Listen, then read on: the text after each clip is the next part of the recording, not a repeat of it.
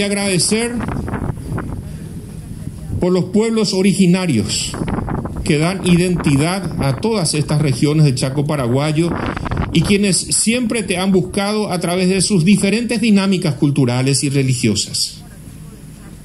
Hoy te queremos agradecer por los pioneros que cuando a finales de la década del 20, principios del 30, empezaron a plantar, hacer agricultura en el Chaco, se arrodillaban en la punta de su chacra, se arrodillaban pidiendo que tú des el agua, des la lluvia, que les protejas de las plagas de las langostas, de la sequía.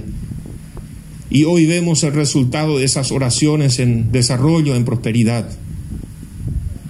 Hoy, Padre Celestial, recordamos a los excombatientes de la guerra del Chaco, a aquellos que llorando, orando a ti en sus familias, se despidieron de sus jóvenes seres queridos que iban al Chaco a defender este suelo, la soberanía patria.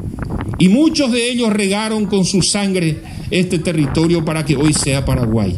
Te damos gracias por cada uno de ellos y nuestro compromiso, Padre Celestial, es de honrar ese sacrificio que han hecho para que realmente podamos volcar las mejores decisiones y obras para el desarrollo de esta región.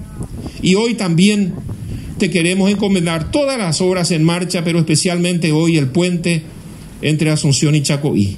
Que tú puedas cuidar a todos los obreros que van a estar trabajando, que van a ser aproximadamente 400 personas directamente trabajando aquí en la zona.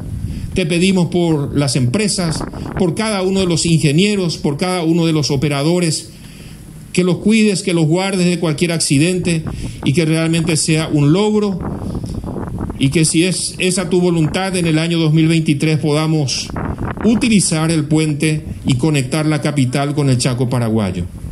Nos encomendamos a ti, Señor Jesús, porque tú te definiste como el mediador entre, entre Dios y los hombres. Tú viniste a la tierra como un puente entre Dios y nosotros, seres pecadores. Tú muriste para que nosotros podamos ir al cielo.